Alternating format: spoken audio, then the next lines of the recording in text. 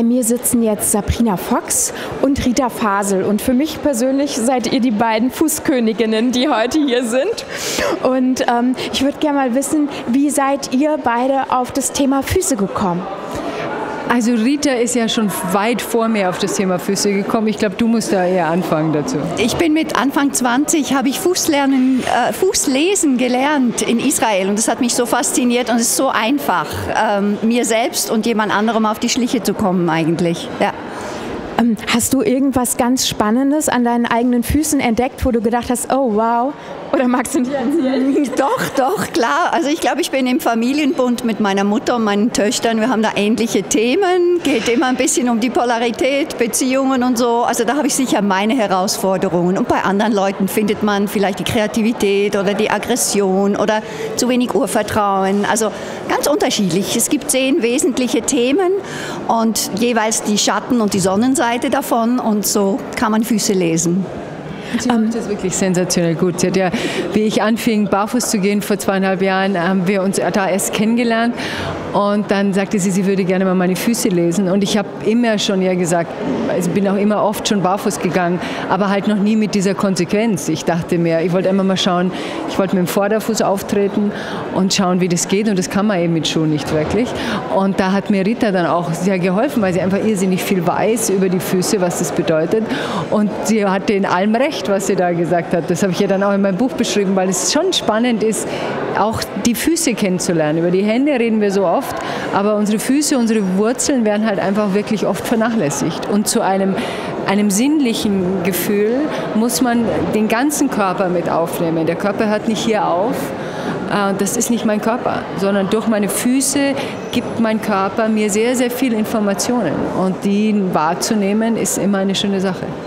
Hat sich was an deinen Füßen verändert? Also habt ihr so einen Vorher-Nachher-Check gemacht, dass man sagen kann, Barfußwirkung hat konkret eine Auswirkung auch auf Seele und alles? Es hat enorme, ich habe eine ganze Liste von Auswirkungen. Also das Erste, was ganz besonders war, ist einfach, dass man sich ganz wahrnimmt. Also man erspürt sich als Ganzes. Das Zweite ist, dass man keine Rückenschmerzen mehr hat, was in meinem Fall jetzt ganz nett war, weil ich hatte so unten so hier öfters so meine Probleme. Und dann hat man natürlich auch, die Füße sind nicht mehr kalt, weil die mehr durchblutet werden. Der Körper hat sie ja quasi absterben lassen, weil er sagt, da bewegt sich nichts, da passiert nichts.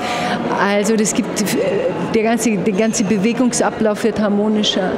Ähm, das ganze Wohlfühlen ähm, ist harmonischer. Also da passiert enorm viel, weil die Füße geben uns Informationen für den Rest von unserem Körper.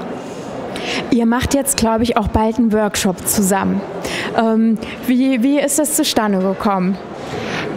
Also ich habe den initiiert, weil ähm, ist ein Workshop nur für Frauen. Da geht es nicht nur um Füße, sondern es geht um schwungvoll ins Neue. Und wir Frauen ja öfters, deshalb sind auch in der spirituellen Szene sehr viele Frauen, weil wir oft öfter bereit sind für Neues. Wir sind da die Vorreiterinnen.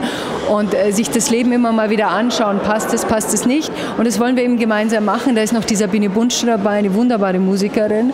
Und äh, ich wollte auch was lernen. Ich will auch zu einem Workshop gehen, wo ich auch was lernen kann. Deshalb habe ich mir zwei Frauen ausgesucht, wo ich gedacht habe, Mensch, von denen möchte ich gern mehr lernen. Das ist die Rita-Phase und die Sabine Buntschow und so ist es dann entstanden.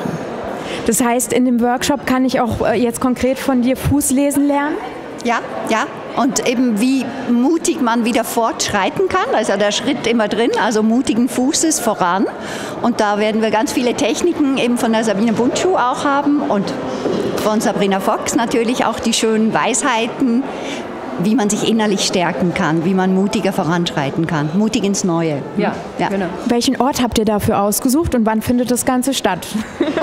weißt du das Datum noch? Auswendig nicht. Es also ist im September, zweiter Septemberwoche, Teil. glaube ich. Ja, oder, oder genau. dritte Septemberwoche. Und Schloss Blumenthal als wunderbaren Seminarort haben wir eigentlich zusammen besucht und für gut befunden. Gell? Ja, wir wollen es ja schön haben.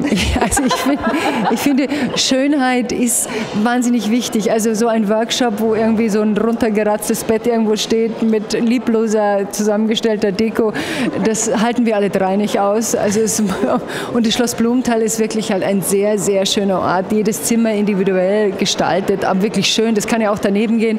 Also das ist wirklich sehr schön, da freuen wir uns sehr. Ähm, ich finde es gerade schön, wir sind ja beim Kongress die Übersinnlichen. Und ähm, Füße sind ja etwas sehr Bodenständiges. Ne? Das muss ja auch zusammenspielen. Ähm, könnt ihr noch mal eine Sache, die euch persönlich am sinnvollsten erscheint, wie man sich gut erdet mit seinen Füßen, sagen? Für dich ist wahrscheinlich Barfußlaufen, Sabrina. Für mich ist es eigentlich die Stille. Ich finde die Stille, mit mir selbst sein, mich am Körper zu erspüren, da können natürlich die Füße dazu. Das ist für mich eigentlich das, das wichtigste Element. Also ich mache das zweimal am Tag, auch immer wieder zwischendrin.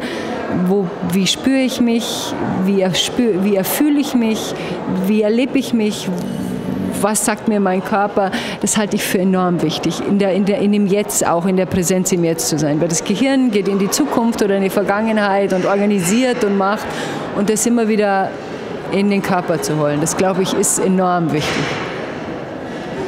Und bei mir, ich habe es ja genannt, die Spuren der Seele, mein Buch. Und es sind ja Seelenspuren, die ich an den Füßen ablesen kann, auch die Veränderungen, wenn man da so pro Jahr vielleicht einmal so eine Fußsichtung macht.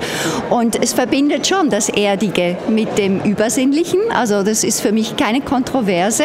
Und klar, wer gut zu Fuß ist, ist auch mutiger unterwegs. Und das zeichnet sich immer ab an den Fußumrandungen und Eckchen und Spitzchen. Ja. Und was tust du persönlich ähm, deinen Füßen Gutes? Ich laufe jetzt nicht jeden Tag barfuß, da bin ich irgendwie noch zu wenig ähm, weit, aber ich laufe so viel barfuß wie möglich. Immer wenn ich in Asien bin, da fallen auch die Flipflops weg und hier in Europa habe ich schon noch gern Schuhe an. Ich fühle mich sonst zu verletzlich, ähm, wenn ich zu, zu viel barfuß unterwegs bin. Deshalb bewundere ich Sabrina, so wie sie das durchzieht mit der Power und allem. Also das könnte ich nicht, aber zeitweilig schon, ja. Wie fühlt sich abschließend nochmal gefragt, wie fühlt sich dieser Kongress für deine Füße an?